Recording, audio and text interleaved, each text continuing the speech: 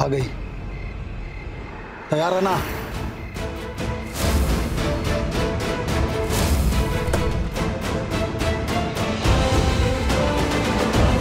दीदी के छोटे भाई।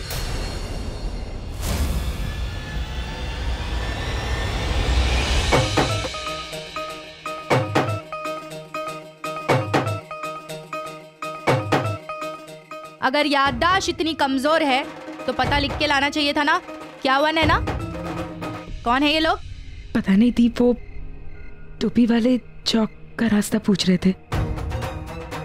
ओ फिटे मुँह तेरे। ऐप और जीपीएस के जमाने में तुसी रास्ता पूछ रहे हो? चलो कोई गल नहीं मैं एक काम करती हूँ। मेरा एक मुँह बोला भाई है इंस्पेक्टर गाय टोंडे उसकी भी टोपी वाला चौक में ही ड्यूटी लगी है। उसे बोल देती हूँ वो तुम लोग को ऐसे रास्ता दिखाएगा और समझाएगा। कि कभी नहीं भूलोगे तुम। लगाओ फ़ोन। अरे नहीं नहीं नहीं नहीं दीदी नहीं नहीं। अरे हम लोग निकल जाएँगे। ए, ए, चल चल चल यू टर्न मार यू टर्न मार चल, चल, चल। ठीक है भाई चलो चलो।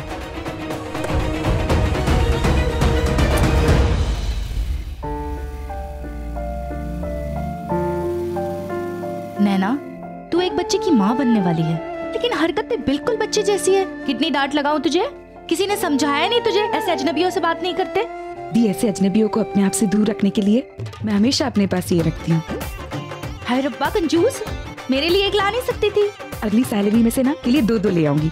अगली सैलरी में दो लेती भी आऊँगी। मुझे इन लोगों से डर वर नहीं लगता मैं बहुत स्ट्रांग हूँ। हाँ बड़ी सुपर वुमन बन रही थी। मैं आई तो तेरे पसीने छूट रहे थे। पसीने नहीं छूटे थे मैं तो वो तो है वही एक्टिंग कर रही हाँ एक्टिंग कर रही उनको भी थोड़ा लगना हाथ आया मौका निकल गया। इस तूफ़ान मेल की वजह से।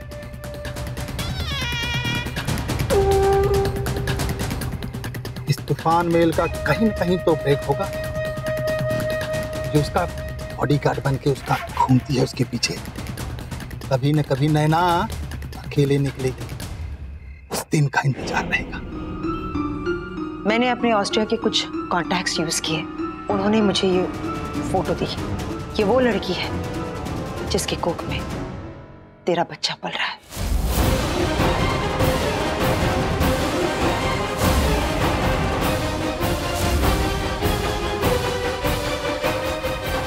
माँ ये। हारिया उन्होंने मुझे ये भी बताया कि अहाना ने इस लड़की को एक घर में रखा था। उसी लैंडलॉर्ड ने उन्हें ये फ़ोटो दिया। और और लैंडलॉर्ड का ये भी कहना था कि वो लड़की बस कुछ महीने पहले इंडिया शिफ्ट हुई है।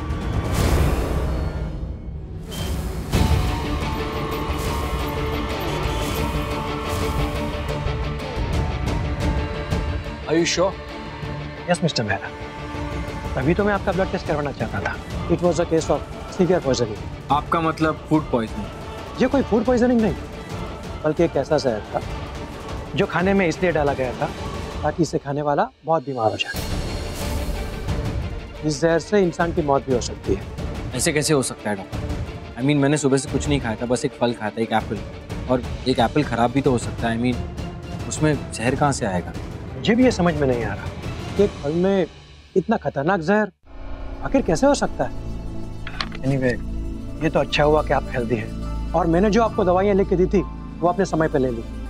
इसकी वजह से आपको उसका ज़्यादा असर नहीं हुआ। अगर किसी कमज़ोर इंसान ने या फिर किसी प्रेग्नेंट औरत ने उस एप्पल का एक बाइट भी लिया होता ना तो उसके बच्चे की मौत उसी वक्त हो गई होती व्हाट हाँ मिस्टर मैम ये जहर गर्भ में पले हुए बच्चे के लिए बहुत ही खतरनाक है। माँ और बच्चा दोनों की जान जा सकती है।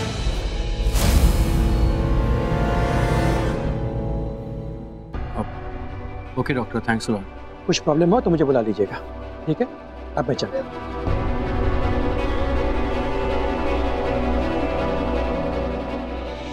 ऐसे कैसे हो सकता है?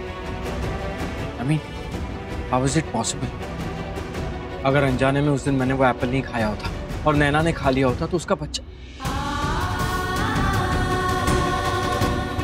समझ नहीं आ रहा है। ये पता है ना क्यों हुआ? क्योंकि आपने मेरा एप्पल चोरी किया। कोई एप्पल कैसे चोरी कर सकता है? एप्पल चोर कहीं के इसका मतलब कोई है जो नहीं चाहता कि नैना का बच्चा इस दुनिया में आए। नैना की जान खतरे में है और उसके बच्चे की। जी मुझे ही कुछ करना होगा। उन दोनों को सेव करने के लिए। नीनू तू भी। इतनी लापरवाह कैसे हो सकती है तू? ये तो अच्छा हुआ। केमिस्ट के वहाँ मुझे मेरी सारी दवाई मिल गई। वरना पता नहीं क्या हो जाता। प्लीज़ थोड़ा केयरफुल रहा कर तू।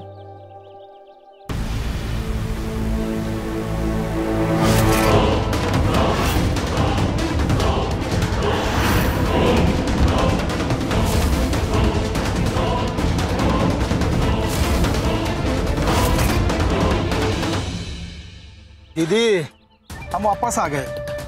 हमारी मदद करो ना। अरे आपने जो बताया था टोपी वाला चौक को मिला नहीं। जरा आप बता देंगी तो अच्छा हो जाएगा। थोड़ा जल्दी पहुँच जाएँगे।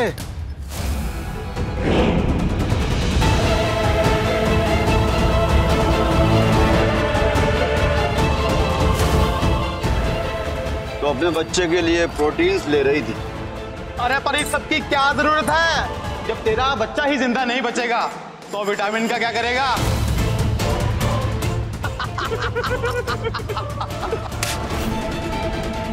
हो गया। अरे भाग ले भागो। अरे देखो भाग नहीं रही है। भाग से, भाग!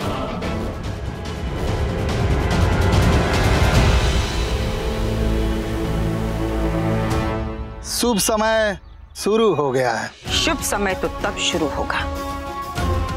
जब मैं उस लड़की की चीखें सुनूँगी। भीख मांगने दो उसे लेकिन उस पर दया मत दिखाना। खत्म कर दो उस बच्चे को क्योंकि वो बच्चा इस दुनिया में नहीं आएगा। नहीं आ सकता नहीं आ वो सकता, बच्चा इस दुनिया में।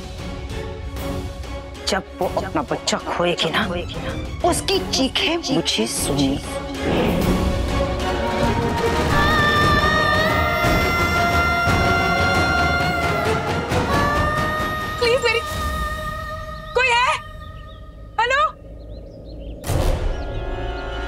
एक काम करो। ऊपर देखो। चेक करो अच्छे से।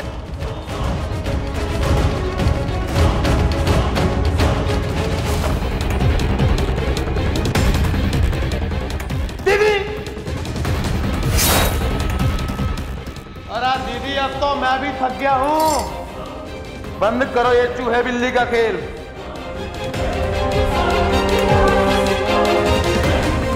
मैं भी देखता हूँ कब तक चिपती हो।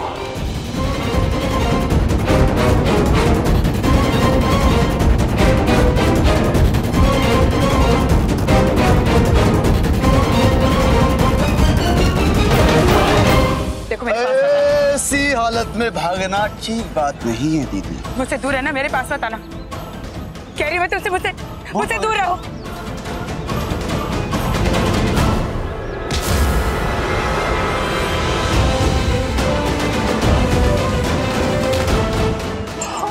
पकड़ो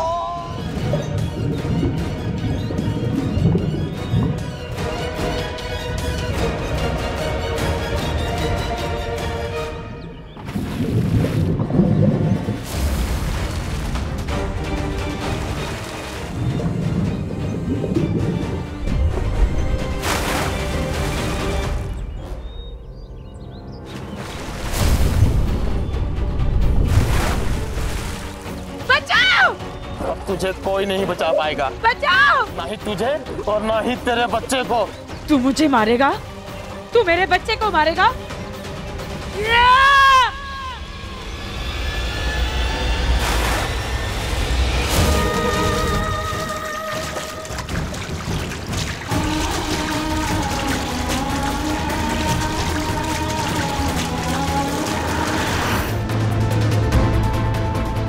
क्यों मेरे पीछे पड़े हो?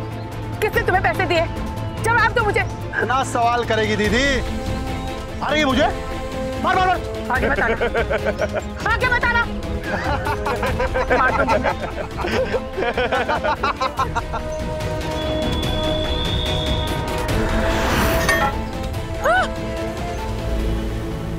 आगे मत आना ना।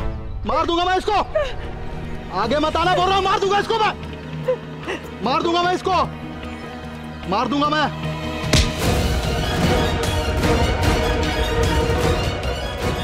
पुलिस यहाँ आने वाली है। तेरा खेल खत्म समझा तू?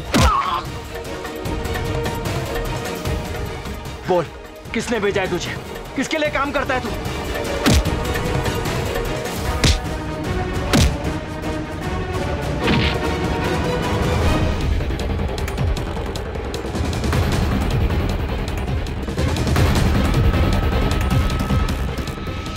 बोल।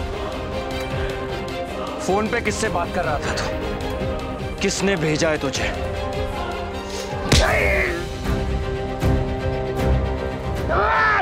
बोल ले तो तेरी जान ले लूँगा। बोल।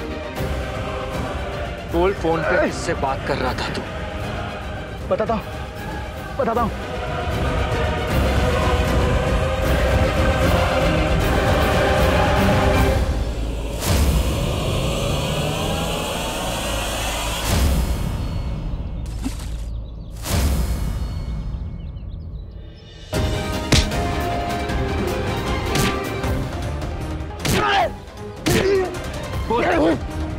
किसने भेजा है तुझे? क्या छुपा रहा था तू? बोल। बोल किसने फ़ोन किया तुझे? बोल। हाँ?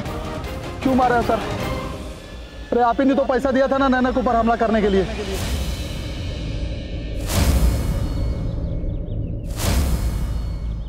क्या? क्या? क्या बकवास कर रहा है तू? झूठ बोल रहा है? बोल। बोल किसने भेजा था तुझे? मैं झूठ नहीं बोल रहा हूँ साहब। अरे सर, नैना के बच्चे को मारने का काम आपने तो दिया था।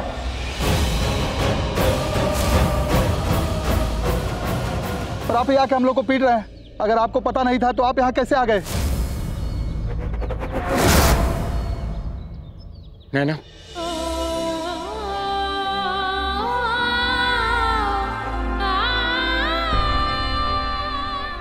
नैना, वो आदमी झूठ बोल रहा था। ये सच नहीं है। इतनी नफरत करते हो तुम मुझसे।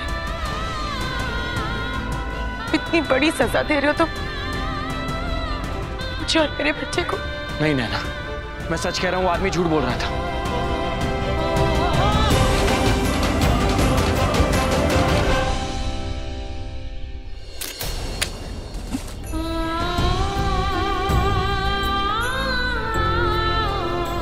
ये क्या कर रही हो तुम नैना? मेरी बात का यकीन करो।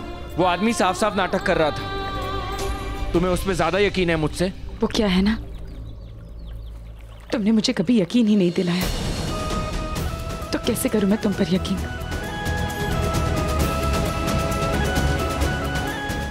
फंटेस्टिक तो जो तुम्हें सोचना है ना तुम सोचो।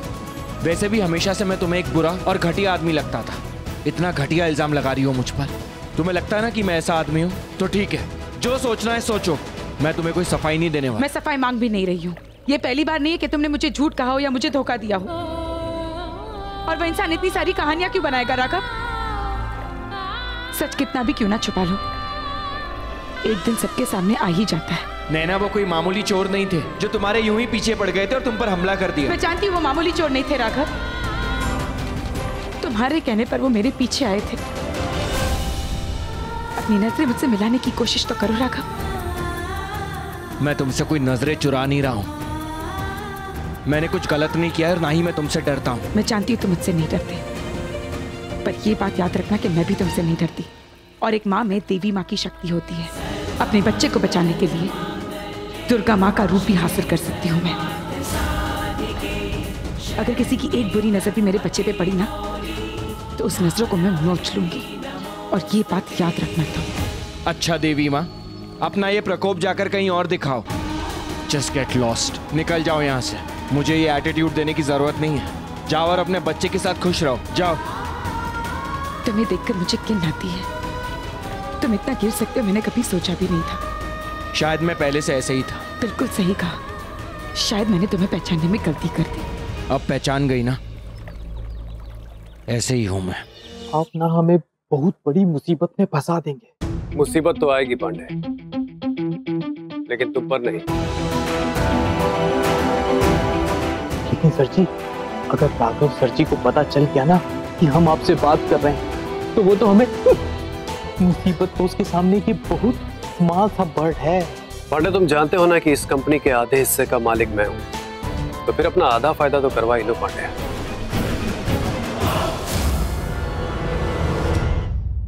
सर के अंदर रखिए अंदर रखिए। क्यों? अगर राघव सर जी ने देख लिया ना तो हम दोनों भगवान को प्यारे हो जाएँगे। अरे ऐसा कुछ नहीं होगा घबरा क्यों रहे? मैं हूँ ना तुम मुझे बस ये बताओ कि ये ये कौन है ये लड़की? ये राघव सर जी की गर्लफ्रेंड है।